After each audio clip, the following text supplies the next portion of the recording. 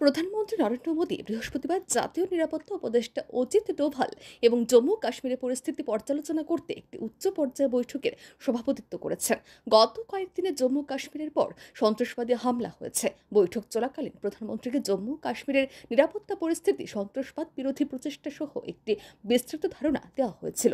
প্রধানমন্ত্রীর উপত্যকায় শান্তি ফেরানোর জন্য দেশের সন্ত্রাস দমন ক্ষমতা সম্পূর্ণ স্পেকট্রাম মোতায়েন করার জন্য সভায় উপস্থিত কর্মকর্তাদের নির্দেশ দেন। প্রধানমন্ত্রী মোদী, কেন্দ্রীয় স্বরাষ্ট্রমন্ত্রী অমিত শাহ এবং জম্মু কাশ্মীরের লেফটেন্যান্ট গভর্নর মনোজ সিনহার সঙ্গেও কথা বলেছেন।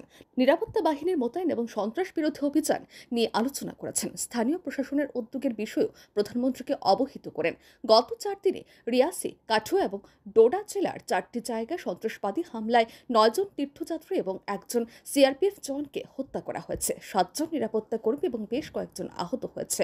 জম্মু কাশ্মীরের বিভিন্ন জেলার বনাঞ্চলে নিরাপত্তা বাহিনী দ্বারা কেন্দ্রশাসিত অঞ্চলে সাম্প্রতিক সন্ত্রাসবাদী হামলার সঙ্গে জড়িতদের সন্ধান এবং নিষ্ক্রিয় করার জন্য ব্যাপক তল্লাশি অভিযান চলছে।